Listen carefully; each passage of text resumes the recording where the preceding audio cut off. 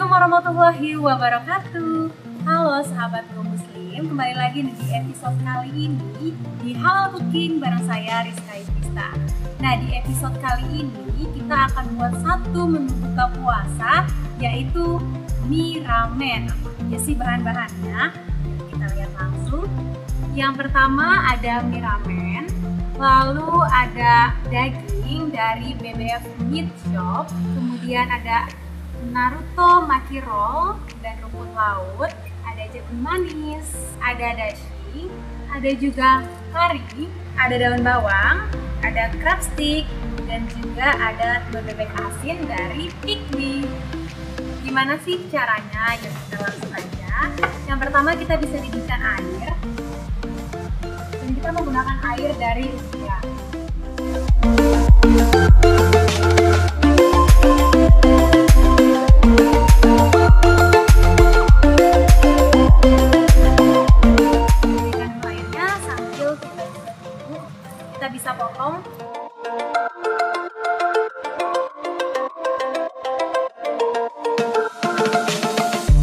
Harinya ini udah terbagi menjadi empat bagian.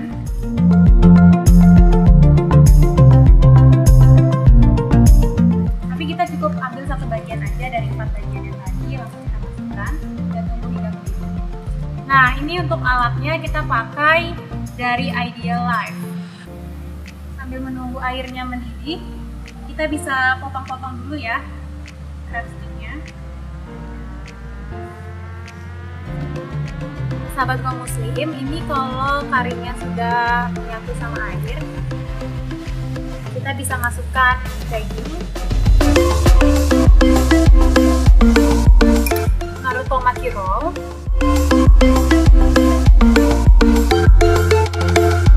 kita tunggu hingga mendidih. Sampai bahan-bahannya yang di dalam sini matang. Baru selanjutnya nanti kita akan masukkan ramen. Tapi sambil menunggu ini kita bisa masukkan dashi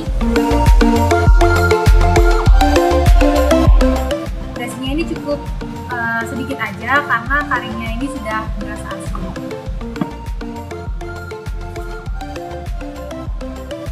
nah buat sahabat go muslim yang suka pedas kita juga bisa tambahin cabai bumbunya.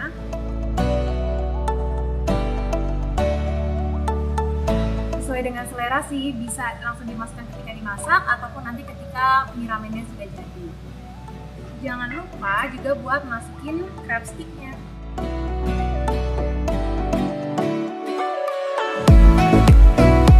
Nah sahabat go muslim karena Naruto dan rumput lautnya ini bakal kita gunain untuk topping jadi kita bisa angkat dulu Naruto-nya setelah mendidih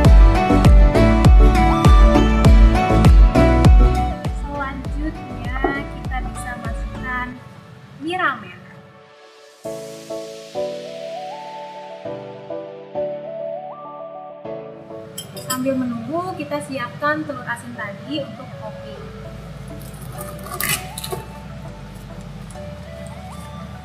nah ini gampang banget cara ambil telur asinnya.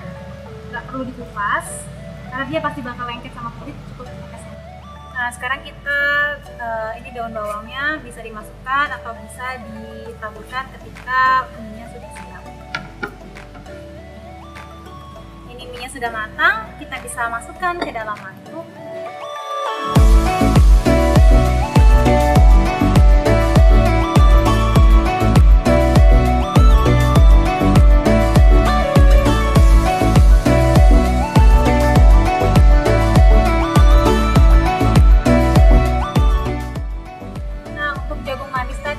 manisnya udah direbus jadi bisa kita tambahkan di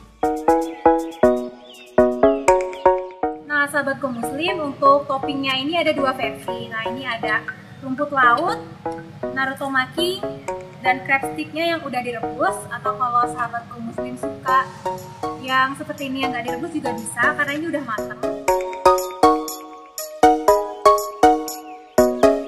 nah terakhir kita taburkan daun bawang